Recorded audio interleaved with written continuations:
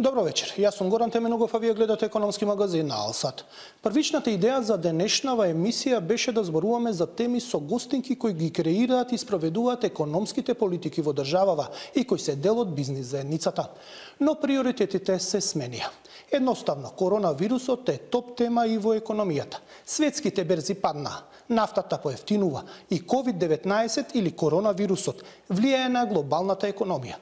Македонија е мала и отворена економија и ако има криза, таа се одразува и кај нас.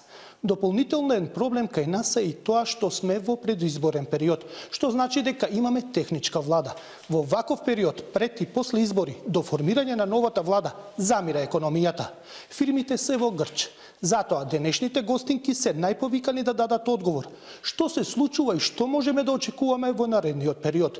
Во студиово се Анита Бежовска, Анита Ангеловска Бежовска, гувернерка на Народната банка, Нина Ангеловска, министерка за финансии, и Ангелка Пеева Лауренчич, бизнесменка и пиар експерт. Добре дојдовте.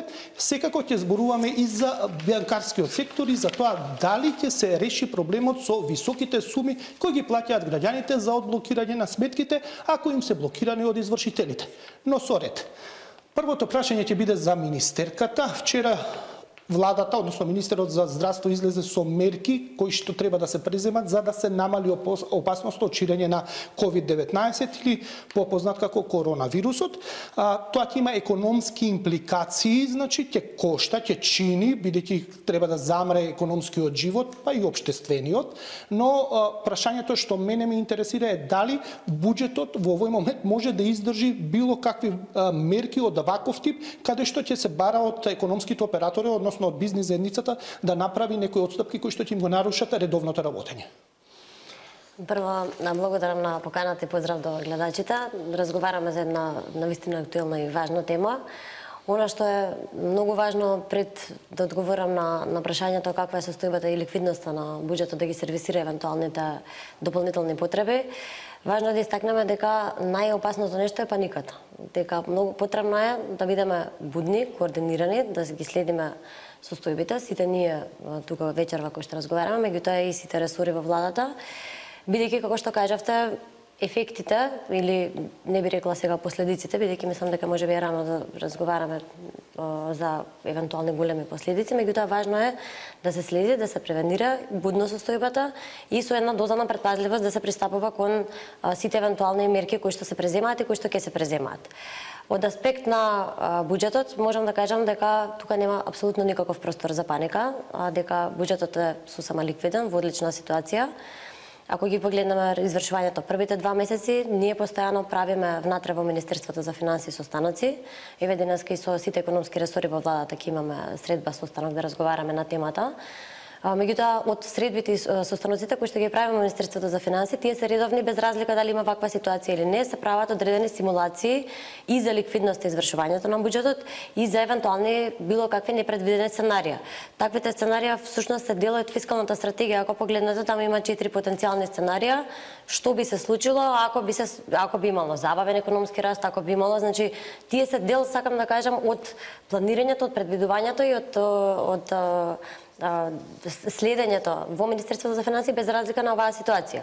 Во однос на ликвидноста и можноста за сервисирање на сите потреби, да, буџетот е во добра состојба. Ние се наоѓаме на почетокот на годината. Ако го погледнеме буџетот на Министерството за здравство, тој е навистина добро скроен за да може да издржи дополнителни потреби, како што се сега имаше потреба да се набавува дополнителна заштитна опрема, дополнителни машини. Значи за сето тоа за во моментот нема никакви потреби од користење на резерви од преземање на средства од други министерства затоа што Министерството за здравство има така скроен буџет за да може да одговори на ваква состојба. Ќе зборуваме за подетално колку е добро скроен и каде што може да се прави, но а, гувернерке, оноа што се плашевме сите, светската економија ја зафати паника, паднаа берзите пред два дена, се опоравуваат деновиве, гледаме вчера вратија делот загубените проценти, односно растат и денеска исто така лондонската берза порасна, но каква е состојбата и колку е опасно во светски рамки ова што се случува и колку може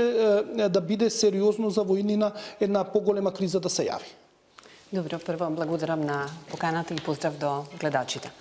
А, Секако треба да имаме во предвид дека кинеската економија е голема економија, чие што учество во глобалниот бруто домашен производ значено се зголемува низ годиниве наназад и во моментот таа учество со околу 20 проценти во светскиот БДП, што самото по себе укажува на потреба од внимателно следење на состојбите покрај тоа кинеската економија има значајно учество во глобалните синџири на дистрибуција и производство во овој глобален свет кога постои голема фрагментираност на производството и меѓусебна поврзаност меѓу економиите, природно, имајќи ја предвид, имајќи ја предвид кинеската улога во овој сегмент кај глобалната трговија, дистрибуција, значи незиното учество и незиното влијание на глобалните текови е голем. Отаму а секако дека сите пристапуваат со предпазливост, ги следат состојбите, се прават проценки, а, се а, иако е тешко да се направи во моментот квантитативна проценка за можните импликации од случувањата на Кина врз глобалниот раст, сепак може би еве да споменам некои од проценките кои што ги прават меѓународните институции. Например, ОЕЦД а, прави едно попенигно сценарио и едно попесимистичко сценарио, имајќи ги во предвид секако предпоставките до каде може да ескалира состојбата со со вирусот и географски колку може таа да се прошири. Едното сценарио упатува на намален глобален економски раст за 0,5% поени, што е релативно бенигно сценарио, би рекла. И ова сценарио во суштина предпоставува дека состојбите ескалираат во првиот квартал, а веќе од вториот квартал на годината започнува процес на постепено стабилизирање.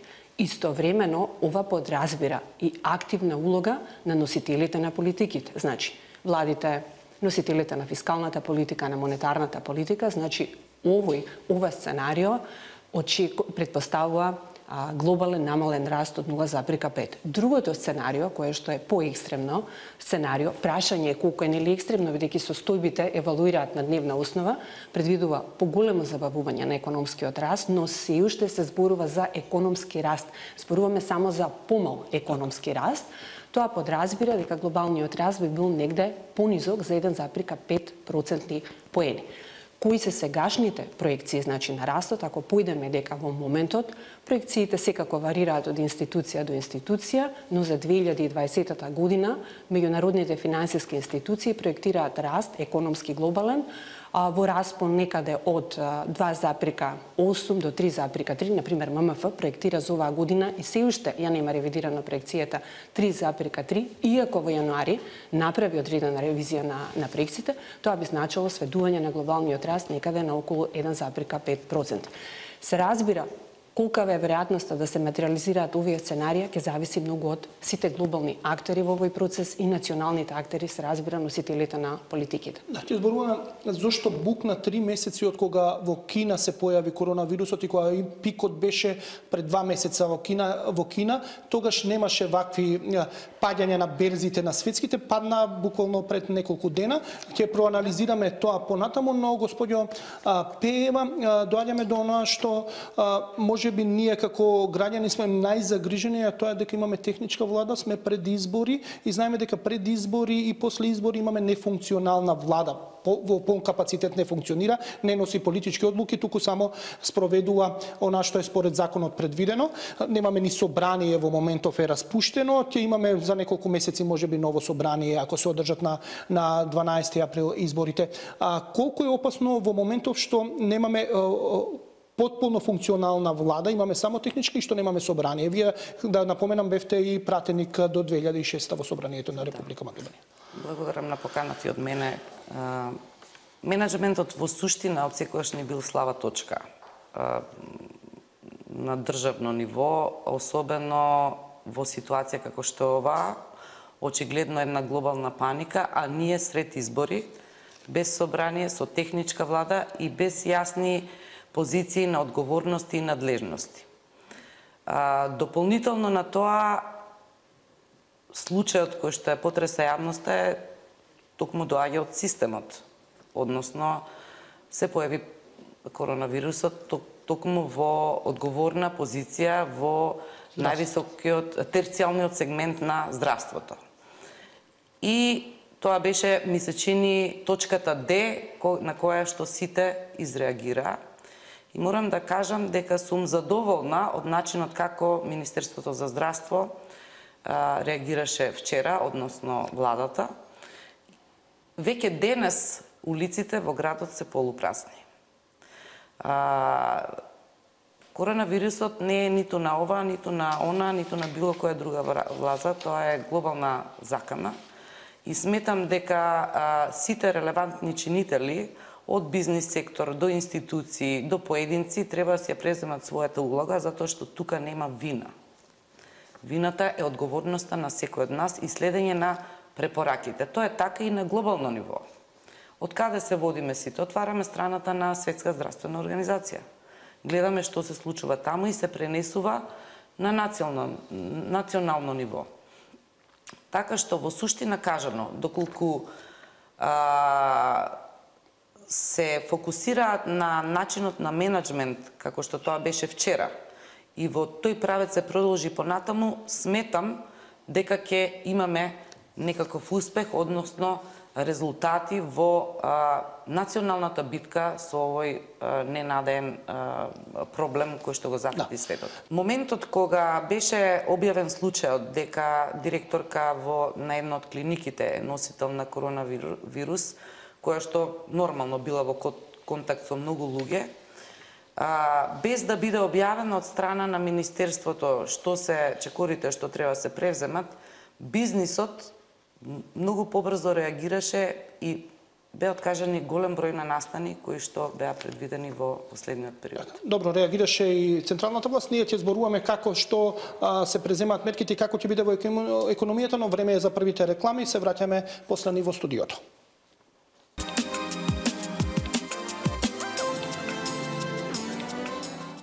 Во студиово зборуваме за опасностите од коронавирусот, односно како тоа ќе се одрази врз економијата глобално, но и во Македонија. Во студиово се, како што знаете, Анита Ангеловска-Бежовска, гувернерка на Народната банка, Нина Ангеловска, министерка за финансии, Ангелка Пева Ларуенчич, бизнисменка и пиар експерт завршивме во воедните зборови кажавме, буџетот го прокоментиравме дека е во добра а, кондиција, треба да реагираме смирено, бизнис заедницата реагираше пред да реагираат државните институции, но вие господјо Пеева рековте дека добро реагираа вчера. А, гувернерката ни кажа дека Кина да голем играч забавува, но да почнеме од она што а, е најнејасно зошто се чека три, после три месеци нагло падна берзите, односно поевтини нафтата, нафтата едноставно преку ноќ како да станавме свесни дека сме во сред криза која е предизвикана од коронавирусот. Дали е само а, а, коронавирусот виновен за се ова или има структурни проблеми? Да разграничиме што е поради а, појавата на вирусот, што е можеби и поради структурни проблеми во светската економија. Дали има а, и два фактора или само сепак е коронавирусот? А, добро, прво вака би посочила на неколку работи. Веќе подолго време наназад забележуваме тренд на надолна ревизија на глобалниот раст. Еве ако го погледнеме меѓународниот монетарен фонд и со последната со последниот светски економски преглед во јануари оваа година направи надолна пред да ескалира, значи состојбите со коронавирусот, направи надолна корекција. Но, она што е значајно, ако се анализира убаво објаснувањето, факторите поради кои што сега е направи надолната корекција, повеќе причината, причините се одделни специфични фактори во одделни економии, а во однос на глобалните тензии, кои што до сега беа главната причина за надолна корекција на растот, веќе има пооптимистички согледувања. Причината е секако првата фаза од договорот, која што се случи помеѓу САД и Кина Постои неизвестно се уште во однос на втората фаза на тамошните преговори, преговори, но пазарите позитивно гледа на, на ова. И понатаму, исто така, а, позитивно се гледа и на а, монетарната политика, која што наместо а, да гледаме тренд на нормализација, како што беше очекуван минатата година, веќе гледаме кај сите а, кај централните банки, особено на а, глобално значајните економии, трендот е во поинаква насока релаксирање. Е сега поконкретно во однос на, значи прво да резимираме дека а, дури и во ризиците кога ги а, коментира меѓународниот монетарен фонд на почетокот на јанари зборуваше за Иако постојат надолни ризици околу проекцијата на растот, сепак тие ризици со оглед на овие фактори кои што ги споминав, намалени глобални тензии, сепак поакомодативни монетарни политики, фискални политики, сето тоа придонесува за помали надолни ризици. Што се случи на, на 9 март? Практично, кога се случи голем пад, голема корекција на светските берзи. А, ние постојано ги следиме движењата на, на берзите, тоа е наша работа секако, и вознемиреност или неизвестност на берзите е веќе одлика подолго време наназад, но не со овој обем и интензитет кој што видовме дека се случи на а, 9 март. Мислам дека тука комбинација е на повеќе фактори. Значи имаше ескалација на состојбата со вирусот, нови случаја, сколемување на ставката на инфекција и така натаму. Сето тоа влијаеше на очекувањата на пазарите, меѓутоа многу важен фактор беше и неможноста за а, договарање, односно склучување на договор околу а, квотите за производство на нафта. А, оттаму а, нормално е во услови на неможност за склучување, склучување на договор, постигнување согласност меѓу клучните играчи на овој на овој пазар, тоа веднаш се одрази на пад на цената на нафтата. А ако имаме пад на цената на нафтата, тоа значи веднаш дека и сите други индустрии кои што се поврзани во тој сегмент се погодени. Втора работа, ние сме во глобален свет, значи глобални економии, постои силна врска од една во друга индустрија. Така да сето тоа имаше преносен ефект, кој што веројатно беше потикнат и од некоја а, паника. А, меѓутоа, а, веќе има реакција од носителите на политиките, дојде до одредено стабилизирање на берзите, реагира и а, владите на глобалните економии, реагира и носителите на фискална политика, централните банки реагира и сето ова очекувам да доведе до натамошно да. стабилизирање. Ќе зборуваме за централните банки колку можат да интервенираат, бидејќи каматните стапки, референтните каматни стапки се на, на историски најниски нивоа и вие ја намаливте Народната да, банка. Да, само дозволите да. тука уште еден момент само. Да, значи зборуваме за пат на бирзата. Вообичаено однесување, кога има сколемена неизвестност, сколемена аверзија кон ризикот, паѓаат берзите и интересот се пренасочува кон посигурните инструменти. Затоа истовремено забележавме пораз на цената на златото, но и пораз на државните харти од вредност на глобалните економии кои што да достигна историски ниски нива. Да, тоа е добро за владата на пример, ако сака да финансира јавен долг, ќе може да прибере повеќе пари за поевти, да, али тоа се надевам нема да го направите, но да се вратиме на мерките во Македонија што се преземаат во борбата против а, последиците што би треба би можеле да произлезат од COVID-19. Вчера имаше најава што треба да се преземе, но еве денешна вест е дека туристичките комори значи бараат олеснувања, гледаме дека се за се условува извозот на медицинска опрема што се произведува во Македонија, едноставно се ограничуваат нормалните движења на на економијата, туризмот ќе страда, но и економските оператори фирмите ќе имаат ограничување во своето работење. А што можете вие како министерство да помогнете во ова и дали размислувате да преземете некои мерки, на пример, еве туристичките работници бараат намалување на ДДВ-то за храната од 9 од 18 на 5%, барат бараат помош при при плаќање на придонесите за вработените во нивниот сектор, што ќе правите со фирмите што произведуваат и извезуваат медицинска опрема. Дали веќе имате некои идеи како тоа може да помогнете? Да, значи Ние ги следиме секако сите случувања и сите мерки кои што други земји ги преземаат. Секако зависи во кој стадиум се наоѓаат и кои се оние индустрии кои што се најпогодени, нели, зависно од од обсегот на досегашните досегашниот развој на случувањата.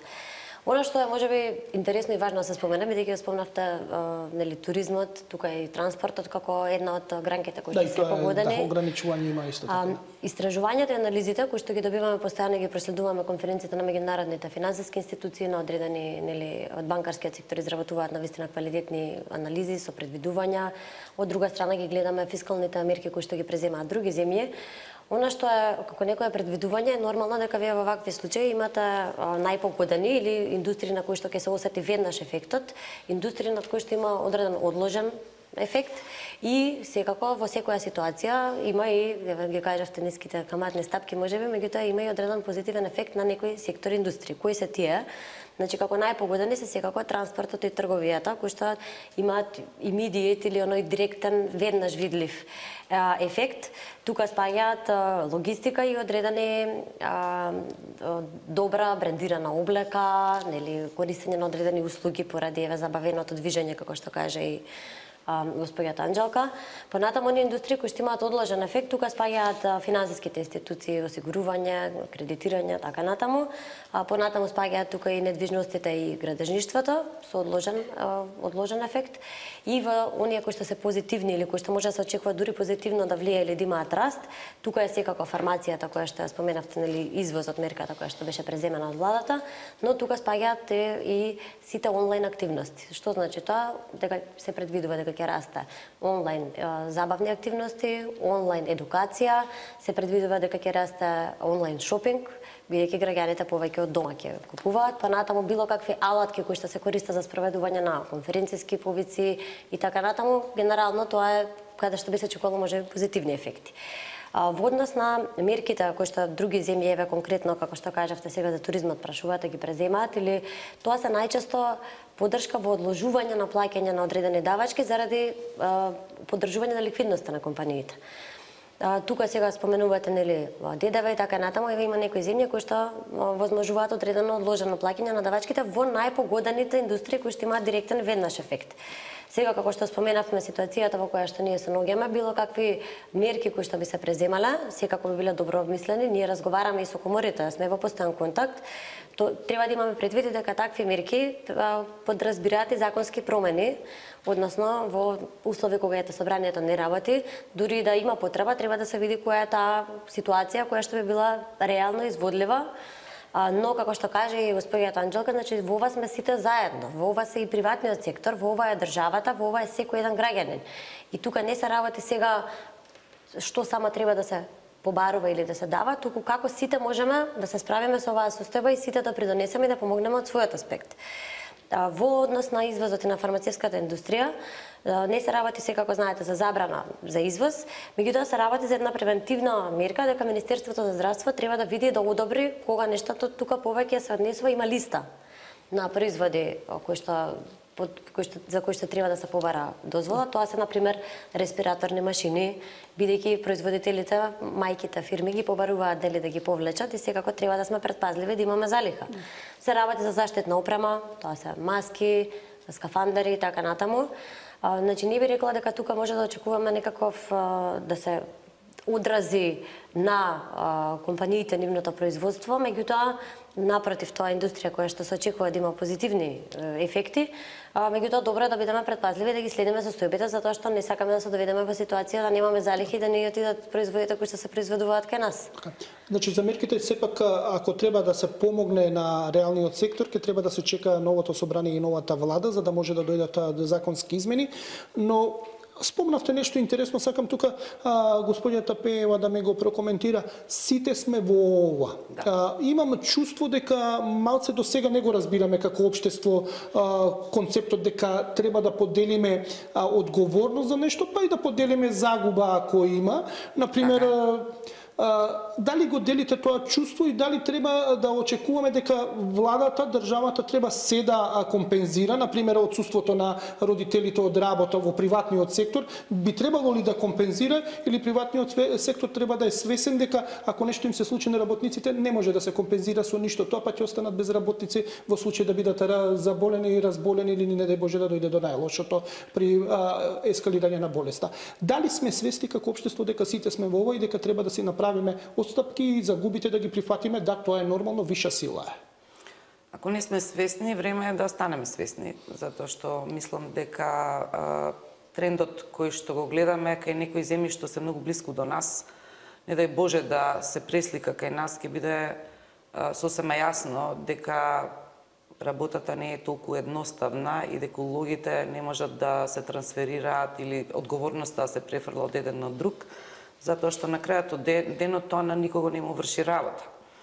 А, доколку сум на местото на тие што одлучуваат, веќе веднаш би направила една еден штаб а, кризен или предкризен, како год да го крстиме, во кое што би имало представници од институциите, од медиумите, од опозицијата и од бизнис секторот, кој што ќе биде во постојано заседание, со што би можеле овие мерки кои што се препорачуваат да пристигнат на соодветен начин и да бидат примени на соодветен начин од сите целни публики на кои што сме обраќани. Тука нема а, абсолютно ниту еден а, а, сегмент потреба да остане надвор од системот.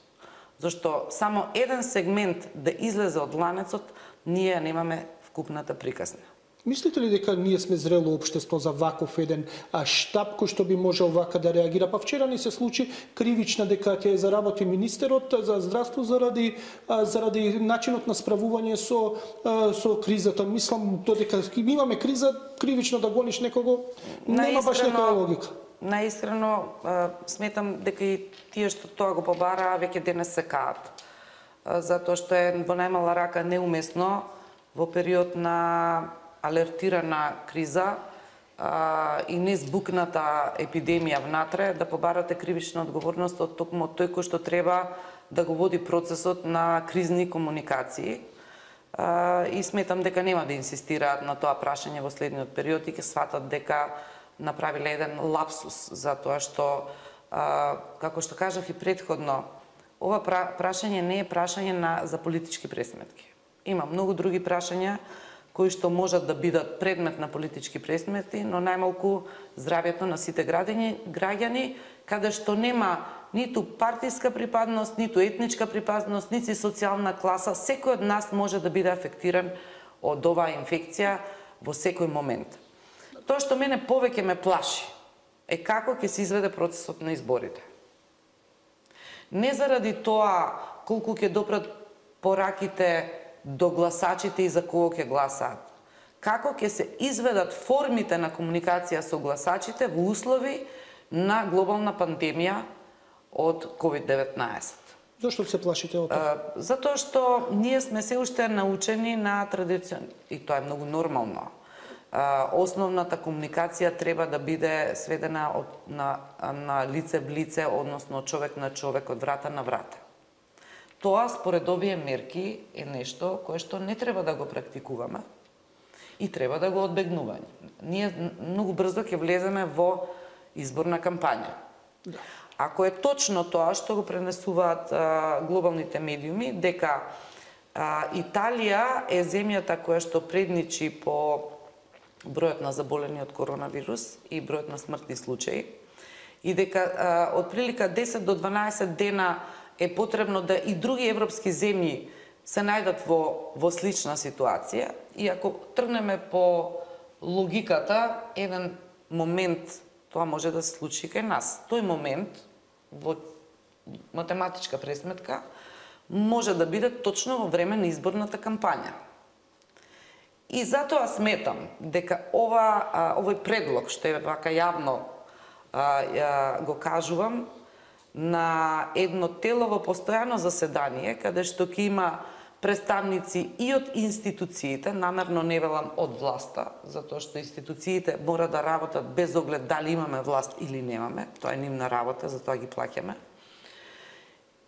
И од политичките партии, и од медиумите, и од бизнес секторот, за доколку е потребно, дури се прекине изборната кампања и се одложат изборите. Тоа ќе го без знаеме утре што... во која ќе има Лија без... средба кај премиерот, ќе видиме како ќе послушате што ќе прават. Ако ми дозволите. да повелете? Ние сме многу нестрпливи околу добивањето на датумот. Нели дури имавме прилика да се насмееме на а, скечовите на Сашко Коцев дека веќе станавме датумска Македонија. И негде на крај на март треба да се одржи тој лидерски самит каде што имаме можност да добиеме зелено светло. Но сега прашање е дали ќе се одржи и тој лидерски самит ако а, а, кривата на раст на заболени е, е, од коронавирус во Европа се движи како што се движи во моментов. Така што имаме многу прашалници каде што единствениот излез да останеме смирени и да ја контролираме ситуацијата е да добиваме препораки од едно место, да споделуваме препораки од едно место и сите да сме единствени во имплементацијата на тие препораки. Ух, тоа е многу голема задача за Тоа е прашање на менеджмент. Да, тоа е сепак мислам малце и менталитет и политичка култура, но да се вратиме на економијата, она мене што ме загрижува а, веќе подолго време а, во кризни ситуации една од мерките е реакцијата на, на централните банки а, со впумпување на пари и намалување на основната каматна стапка. Еве во Македонија вие ја намаливте за 0,25 проценти. Гледаме денеска дека британската централна банка ја намали за 0,5 проценти и на историски најниска тоа е 0,25 проценти камата. Европската унија, односно еврозоната, е, имаат негативни камати, мислам, многу пари има во системот, ликвидни се, имаат пари, не можат да се потрошат, нема инвестиции, луѓе, те има веројатно и уште помалку инвестиции заради стравот. Како може да се интервенира на глобално ниво, со кои мерки во услови кога веќе, ајде да кажеме, монетарните политики се скоро исцрпени? Добро, прво да кажам дека се работи за специфичен шок, значи во класичната економска теорија е познат како шок од страна на понудата, кој што во основа значи помала можност или пречки во продуцирањето на добра и услуги. И во таков случај, кога не се работи за шок кој што доаѓа од страна на побарувачката, можноста да се делува преку фискална или монетарна политика е намалена. Сепак, во овој случај, покрај тоа што во основа се работи за шок од страна на понудата, значи имаме прекин на сенџирите за снабдување, не може да се набават нели материјали кои што се влезен импут во производството, има ограничен проток на луѓе, значи работна сила, сето тоа се фактори за производство. Ако имаме тука ограничување, тоа значи се намалува можноста и за производство. Меѓутоа, сепак, ограничувањата за движење, ограничувањата околу транспортот, сето тоа во основа значи намалена поварувачка. Исто така, доколку овие ограничувања продолжат подолго време, тоа ќе се одрази и на примањата на расположливиот доход, што значи повторно ќе дојдеме до каналот на побарувачката. Тоа е и причината, всушност, зашто и покрај тоа што во основа се работи за шок на страна на понудата, делуваат носителите на политиките преку политики на потикнување на побарувачката или политики на одржување на поволни финансиски услови, услови на пазарите. Реагираше ФЕД и вие самиот споменавте и тоа реагираше на вонреден состанок на кој што ја намали каматната стапка за 0,5 процентни поени, сведувајќи ја во распон на 1,125.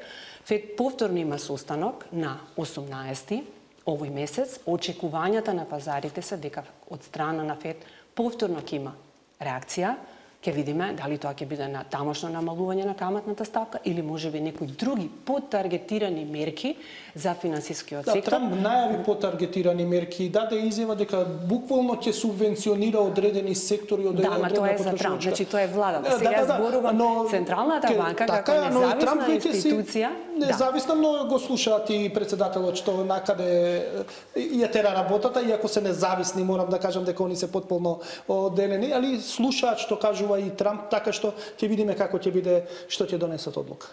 А, добро, значи а, постои веројатност да приземат и други дополнителни мерки. Европската централна банка утре мислам треба да има редовен состанок на комитетот кој што ја одлучува за монетарната политика, очекувањата си од тамо дека ќе се преземат одредени мерки.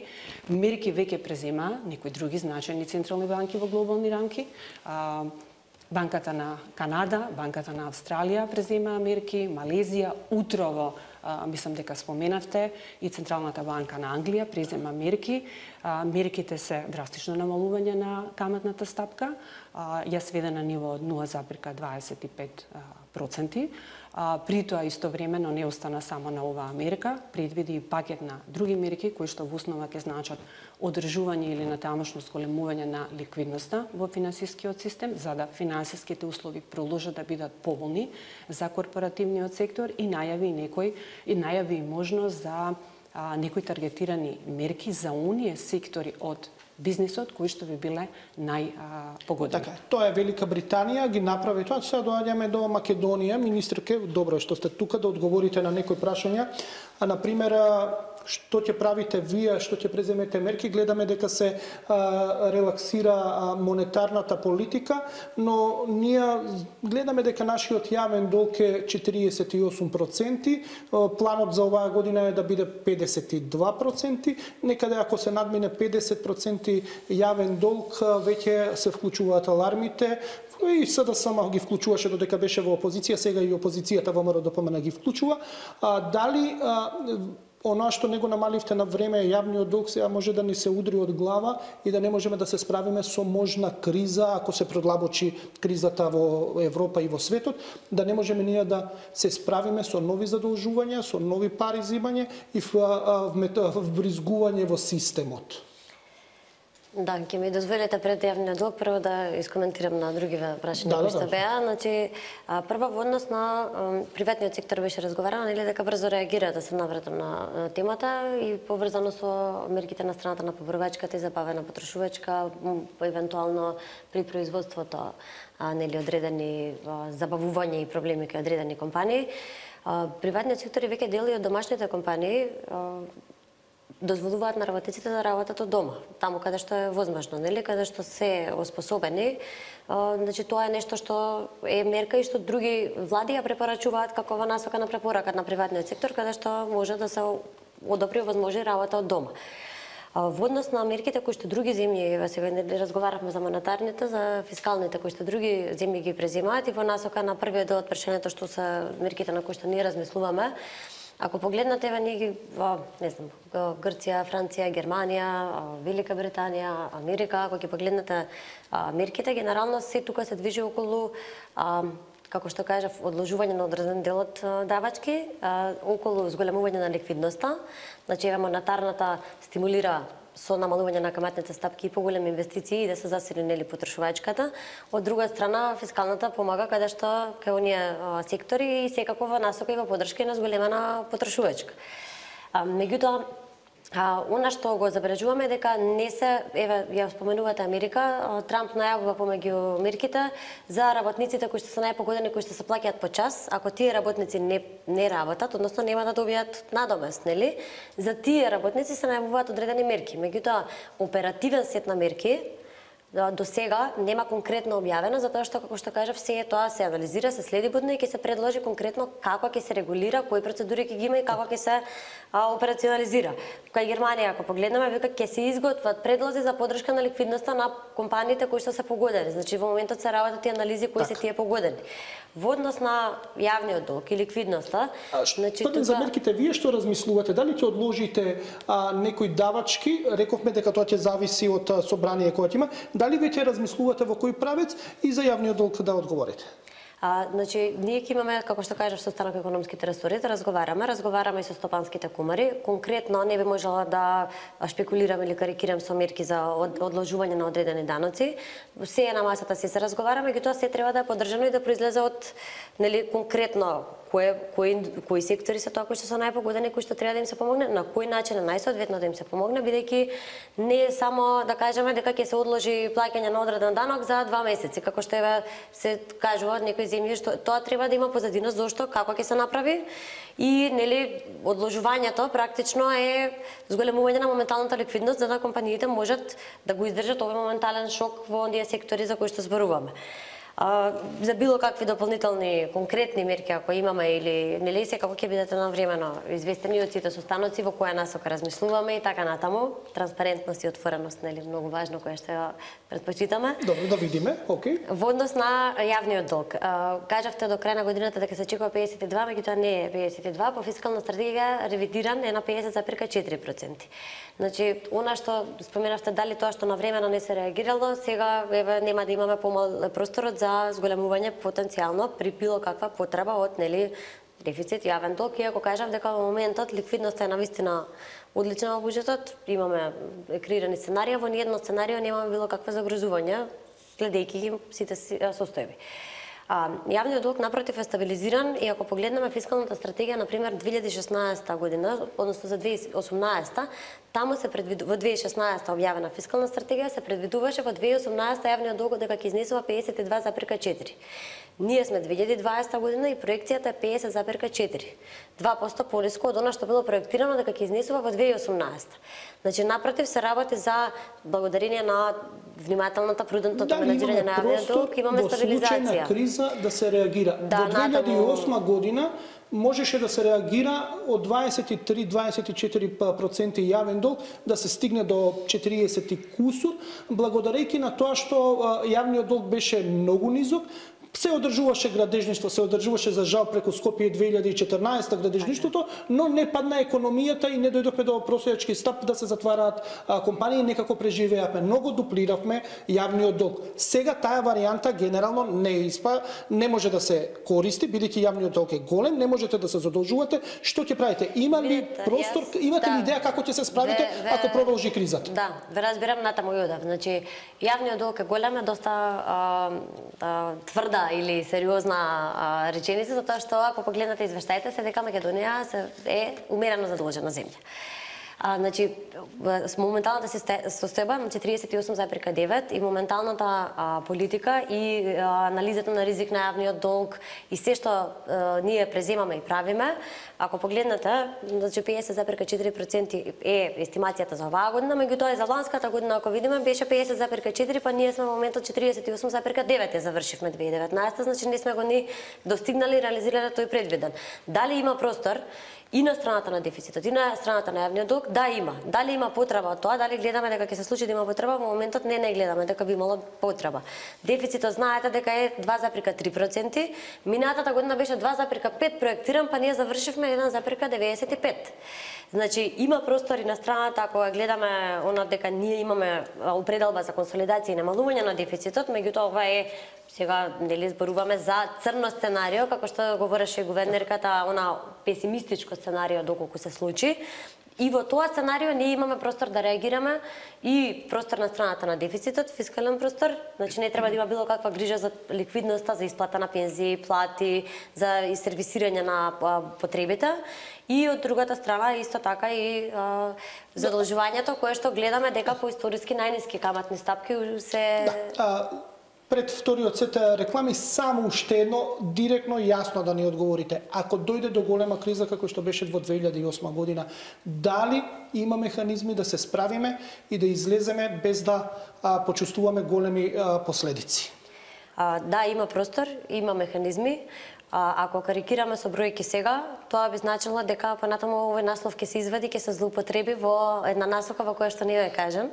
Затоа би кратко и јасно да ви одговорила дека имаме механизми, имаме простор и сите сценарија кои што се направени и симулирани, дали во фискална стратегија, дали оние кои што ги правевме во минатите две недели, не покажуваат на простор за било каква паника или грижа, дури и да се случи, иако поверојатно сега според институциите, ова првото сценарио, дека ќе се случи да се почувствува моментално и дека ќе има после рекавери или опоравување, меѓутоа, дури да се случи она сценарио на глобален економски пат, кој што најчесто сега се движи од 0,2-3,05 па до 1%, дури во тој, и во тој случај, ние како мала земја ете покасно ги чувствуваме нели овие Да, 6 до година дена, 6 месеци до година. последици, да, имаме а, Да. механизми. Повели, па да одиме на рекламите.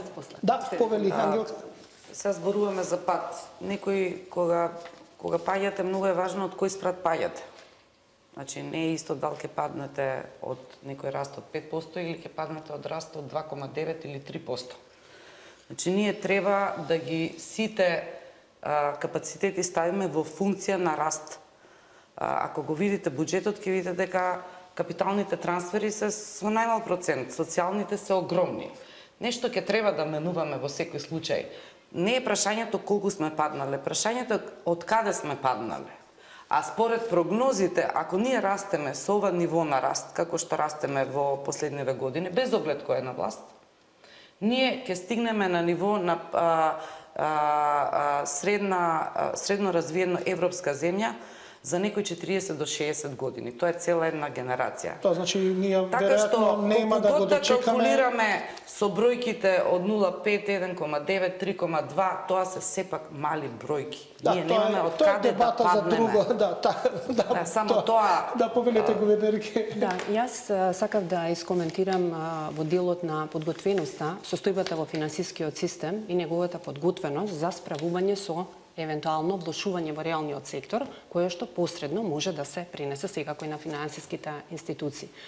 Би сакала да укажам дека на вистина состојбата, билансите на финансискиот, односно на банкарскиот сектор, за кој што ние сме супервизори, нели постојано го ја следиме состојбата, упатува на здрави фундаменти, дури еве и преку некои стандардни индикатори, ако- ја погледнеме состојбата, 2008 година адекватноста на капиталот беше пониска пред кризата од таа што е сега. Тогаш адекватноста на капиталот беше некаде близу до 16, сега е 17. Зборувам како простор за справување со евентуални шокови. Понатаму ликвидноста сега е повисока од ликвидноста која што беше пред кризата 2008 година. Профитабилноста на банките е на високо, солидно ниво, а зошто е тоа важно да го споменам, бидејќи доколку има потреба за докапитализација банкарскиот систем, тоа е интерен потенцијал за докапитализација на банките и тоа е многу важно. Да појасниме оваа докапитализација, тоа значи профитите, ако утре нешто загусти, ќе треба да си ги дадат во банките и банките да имаат екстра пари за да може да излезат во пресвет на бидејќи побарувањето. Поддршката на кредитниот раст подразбира и доволно ниво на капитал. Поголем кредитен раст, значи и поголем капитал. Доколку има за потреба за тоа, значи билансите на банките тоа го овозможуваат. И уште еден важен индикатор, ако го, ако, ја, ако го погледнеме квалитетот на активата на банкарскиот систем, сега, во споредба со периодот пред кризата, сега квалитетот на активата е многу подобар, што јасно се согледува преку учеството на нефункционалните кредити во вкупните кредити, која што е на ниво некаде околу 4,8-4,9%, а пред кризата беше повисоко и во моментов едно од пониските во, во регионот. Добро, тоа е добар фундамент за не дај Боже утре Да, ако се да, случи банкарскиот сектор нема да изгори како што изгори во кризата во 2008 во другите земји, тоа е добра вест да се слушне. А, последниот сет реклами се враќаме за да финишираме со по едно прашање и да ја заклучиме оваа емисија. Финишираме со денешната расправа околу тоа како ќе влијае појавата на COVID-19 или коронавирусот на економијата, како на светската така и на економијата во државава. Во студиово знаете се Анита Ангеловска Бежовска гувернерка на НБРМ, Нина Ангеловска министерка за финансии и Ангелка Пева Лауренчич, бизнисменка и PR аспект. Остана само едно прашање да го одговориме бидејќи време веќе немаме. А, министерке најавив во генералната најава дека а, треба да се промени нешто банките да не можат да го користат а, инструментот за блок, а, да наплаќаат големи пари а, за бло, одблокирање на сметките при извршување. Например, сега некаде од 600 до 2000 денари, ако са треба да се одблокира, најчесто граѓаните ги немаат тие пари, тоа на тоа се додава како трошоци, па доаѓаат ДДВ се пресметува затезни камати и тоа доаѓа огромни суми да платат. Една од стапките е и одблокирањето на сметките. Дали ќе се промени нешто бидејќи секоја банка си има своја политика и генерално е ова голема висока сума. Да, значи во изминатиот период Министерството за финансии во соработка со Народната банка работи на новиот закон за платежни услуги и платни системи во кој што дел е и ова вашето прашање регулирано. А, важно е сега да напоменам што се е офатено во законот и што се ќе значи во кратко и да одговорам и на што што е нели промената во однос на трошоците за извршувањето и постапките и начините. Законот е суштински, значи покрај тоа што се согласува со бројни EU директиви, законот ќе овозможи либерализација на пазарот на платежни услуги, односно појавување на нови платежни услуги, простор за финтек компании кои што може да нудат нови начини на плаќање нови методи, кои што е многу важно за конкуренцијата на банкарскиот сектор, за да може нели конкуренцијата води иновации, движи ги намалува цените и нуди поголеми и подобри услуги за потрошувачите. Во таа насока и а, главните измени околу законот има значени измени околу транспарентноста и информираноста на граѓаните во однос на трошоците кои што ги наплатуваат банките и во конкретниот случај во а, делот околу трошоците за извршувањето, значи Проблемот од практична причина е што на пример ако вие треба да ви изврши ако треба да нели да ви блокираат сметката, вие имате на пример сметка во да објасниме попластично така, за гледачите, имате сметка во четири банки да кажеме извршителот праќа во една банка и вие баш таа сметка може би не ја користите и немате средства на таа сметка, па таа сметка ви се блокира, па вие треба да платите трошоци за блокирање, наместо да бидеме нели практични, да може банките да соработуваат и да се исцрпат прво можностите за вршење на наплатата од другите сметки на истиот корисник пред да го теретиме со трошоци за блокада. Ова решение е дел од новиот закон за платежни услуги и платни системи, односно точно да комуницираат банките меѓу себе при вакви случаи и да нема можност да вие се соочите во три сметки да ви е блокирана сметката и да треба да платите како граѓанинот, односно да плати три пати трошоци за блокада. Значи се директно значи... извршителот ќе знае на која сметка има пари и оттаму да може да ги повлече а, средствата при извршување. А, тоа дали а, извршителот ќе има директен пристап или ќе биде комуникацијата да тргне во една банка па меѓубанкарска комуникација, значи тоа е веќе внатрешно уредено. Она што сега го коментираме е дали за граѓанинот ќе има олеснување. Да, ќе има олеснување и тука комуникацијата помеѓу банките и помеѓу други системи за прв пат во законот ќе биде овозможено и отворено банкарство или open banking. Тука се возможува нели покрај комуникација и размена на информации и можност за API или изградба поврзување со други системи кои што возможуваат па креирање на нови платежни солуции како што гледаме во светот секаде да веќе се плаќа со мобилен уред. Во бидејќи разговаравме да завршам мислата, бидејќи разговаравме за кризата, имаше нели некои најави дека одредени а, централни банки ги дезинфицираат и парите и така натаму, поимаше насоки и препораки повеќе да се користи безготовинското плаќање, плаќање со картичка, да се користат мобилното плаќање, онлайн средствата и еве во овој период, нели видовме и кои индустрии може да имаат позитивен импакт, се надевам дека можеби ова ќе влие и повеќе на безготовински плаќања на страната на на граѓаните. проблемот со сметките со блокираните беше детектирани од вас, но вие а, можете ли нешто да преземете и можете ли да ги контролирате или како ќе заврши се цела оваа приказна? Има ли механизам како банките малце да да бидат повнимателни кон кон граѓаните? Добро, во суштина се работи за законско прашање, како што спомена министерката, ние веќе подолго време наназад заедно соработуваме тимот од Народна банка со тимот од Министерството за финансии во насока на изготвување на соодветна законска регулатива, тоа е пред се законот за платежни услуги и платежни системи, кој што во својата основа има и имплементацијата на европските директиви.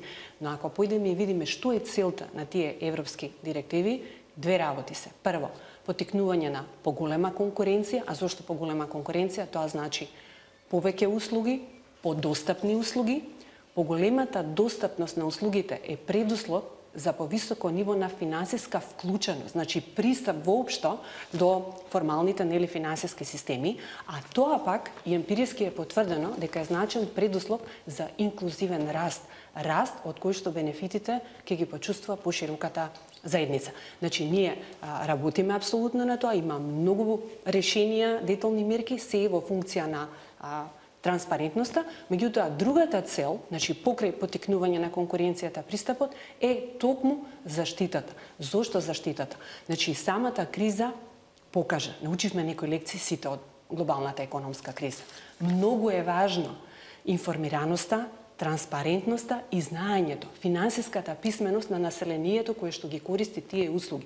И од, од тука не зачудува фактот што во овој посткризен период на сите носители на политиките, вклучително и на централните банки, во фокусот на нивното работење е заштитата на потрошувачи. Преку кои канали сепак се работи за пазарна економија, значи треба да знаеме која може да биде улогата на регулаторот. На кој начин ни пристапуваат? Прво, посредно потикнување или создавање на амбиент за зголемена конкуренција, а самата конкуренција треба да доведе до подостапни и до поконкурентни услуги на населението. Вториот аспект е регулаторните органи да обезбедат доследно почитување на регулативата. Вие ако имате регулативи, ако таа не се почитува, нели, тогаш се доведува прашање ефективноста. И третата работа е се преземаат големи мерки за а, финансиска едукација, финансиска писменост. По сите овие, да речем, смерници, и ние, како регулатори, постапуваме. Само на крај, може би да ја споменам, покрај законското решение и кое што главно е фокусирано од делот на заштитата при платежни услуги. Се преземаат и многу други мерки. Во моментот работиме на првата национална стратегија за финансиска писменост и финансиска инклузија, која што содржи значени сегменти во делот на потрошувачите. Имаме формирано и работна група заедничка со Министерството за финансии, која што треба подетално да ја согледа институционалната поставеност, како сме организирани како регулатори во делот на заштитата на потрошувачите. Така. Министерке, морам да ви подставам уште едно прашање. Еве, има случај, вади моја колешка 500 денари од банкомат и доаѓа без да знае дека треба да плати провизија од 180 денари. А, гледаме дека си блокираат од 600 до 2000 денари за блокирање на сметка, односно за одблокирање при извршување. Дали ќе донесете закон кој што малце ќе ги заузда банките и ќе ги отвори кон потрошувачите да бидат по кон клиентите поодговорни со оглед на тоа што банките се добри финансиери на јавниот долг во државава, така што дали ќе имате политичка волја, сила, желба, малце да ги зауздате, знаеме дека прават огромни профити. Токму тоа е целта на законот, како што Сигурно ли дека ќе го истерат? А, значи, во однос на зголемувањето на транспарентноста за и заштитата на потрошувачите, тука има и предвидено во законот дека на вебсајтот на Народната банка ќе се објавуваат сите трошоци кои што банките ги наплатуваат, за да може одедно кога вие сте еве како граѓанин кажувате некој пријател, кога вие сте колешка, а, колешка. да, кога сте во а, ситуација да сте да се да се чувствувате на некој начин непријатно или измамено дека многу средства би биле наплатени. Кога не, не знаела дека се Кога не сте информирани, точно тоа е нели Никој не е информиран, многу услуга 2-3 месеца стара, никој ништо не ја кажа, се шокирала кога дознал. Значи, прво основното е финансиската писменост, информираност на граѓаните, како што кажувам дека ќе бидат Како објавени да бидат информирани кога банката не ги информира? Сите трошици, значи вака А воведува давачка. Тука нема логика. Мислам, јас сакам да се информирам, ама она се ќути. Од кај се додам на секоја банка што правите? Имам три сметки сите да ги прашувам. Сега јас не можам да, да не можам точно да зборувам бидејќи не знаеме која банка е картичката, да, која не, банка не, не, е банкоматот, кои се условите кои што банките ги имаат. Како ќе ги регулирате? Дали да, дали ќе има одредено влијание новиот закон на овие работи? Да, ќе има. Меѓутоа треба да имаме предвид дека и пазарот сам ќе го направи своето кога ќе се појават и нови платежни солуции и нови решенија кои ќе бидат поконкурентни, поиновативни и дека граѓаните секако ќе можат да си одберат кои солуции и што сакаат нели да да користат. Да, повели, за... повелете. Ако заврши министерката или да, да, само да кратко околу конкретниот случај кој што го а, споменувате. Значи и сегашната регулатива подразбира дека мора клиентите да се информирани за цената на услугите кои што ги користат.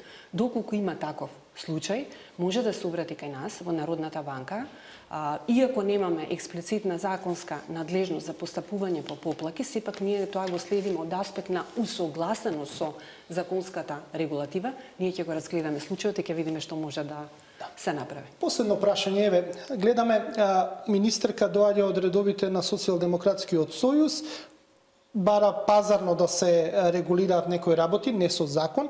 Вие бевте на ЛДП представа пратеничка, веројатно вас ви е блиска оваа логика, но дали би требало да бидат вакви... Како ги извлече вака заклучоци, не Заради припадност на политичката до 2006 да, не интересира... социјалдемократи, либералите бараат мала држава, помалку така, трошици за да, но исто така бараат пазарот да регулира либералите, да. и социјалдемократите па да државата да регулира што повеќе односи за да биде јасно во интерес на граѓаните и да бидат заштитени. Така. Дали дали има отстапување во ваквиот став на министерката од социјалдемократскиот и дали сепак државата а... треба малце да да реагира?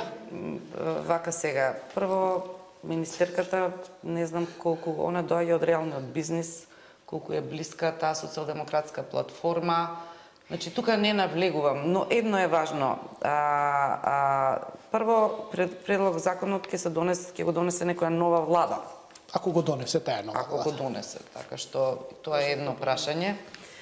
Второ прашање, областа не ми е доволно позната и не можам да ја коментирам но можам само да кажам дека а, идеална ситуација е она во која што ќе се намалат трошоците на граѓаните по било кој основ. Ако го зборувам за граѓани, мислам и на бизнисот, затоа што државата премногу троши и ако погледнеме наназад, единствена крива која што постојано расте од самостојноста на државата до денес е буџетот. Добро. Така што Министерката да каже да, добро, да. после да е збор, нека биде на министерката. Еве, значи мислам дека вака ја ја испилувавте работата на кај нешто побрзав работите, што се логични. А, за овој закон и овие промени кои што се прават не треба да се поврзуваат со било која политичка идеологија, односно се работи за професионална работа, работена од страна на Министерство за финансии и Народната банка и како што каже гувернерката, транспонирање и усогласување со голем број директиви кои што се произлезени не само од превентивни мерки поучени од кризата, туку и од новиот свет, дигиталните услуги и новите трендови кои што се налагаат. Дали овој закон има и други мерки за заштита на потрошувачите? Да, ова е за извршителите само еден дел кој што го споменавме. Значи има одредени поволности за социјално ранливите групи во самиот а, закон. Понатаму има една одредба која што ќе ги регулира за прв пат оние заспани сметки, што значи тоа дека вие имате имаме ние граѓани кои што во, во банките имаат сметки по 6, 7, 10 години еве над 10 години кои што никогаш не ги користеле, а им се наплатуваат трошоци за одржување на тие сметки. Тоа сега со законот исто така се регулира, значи во насока на заштита на потрошувачите, на бизнисите и во насока на секако подобро регулирање на и подготовка за новите солуции и дигитален свет кој што доаѓа. Така да јас не би го поврзала овој закон со социјалдемократска идеологија. Добро, сепак на избори граѓаните гласаат за одредена политичка опција, а не за евродирективи, туку си гласаат за тоа како ќе бидат вметнати одредените политички погледи. Која треба да се грижи за така заштита на потрошувачите? Така е, али секоја си својата матрица си вметнува секоја политичка партија во законите. Ова нека биде крајна емисијава. Ви благодарам што бевте дел од економски магазин. Се гледаме во некоја наредна прилика, се влегуваме во предизборија кај што темите ќе бидат малце поразлични и дебатите веројатно ќе бидат полоши, односно ќе бидат по непријатни за гледање и за слушање, но тоа мора да го истераме и ние како новинари за да им кажеме на граѓаните што ќе понудат политичките партии а, во нивните програми. Ви благодарам уште една, се гледаме во некоја наредна прилика. Тоа беше се за оваа емисија. Ми беше мило што имав гостинки, што зборувавме за сериозни теми не беше толку темно и глед, видовме дека има надеж и да се слушат да се случат непријатни сценарија, има доволно капацитет да се справиме со нив како на монетарната така и во фискалната сфера. Наредната емисија се уште не сум решил што ќе биде, веројатно ќе биде некоја неутрална тема бидејќи после тоа влегуваме во предизборна кампања кај што ќе ги презентираме програмите на политичките партии, економските програми на политичките партии, така што за на 18 март ќе биде некоја неутрална тема, веројатно добла областта на образованието, но за тоа ќе видиме потоа. Останете со вестите на Алсат на Македонски, секое добро, довидување.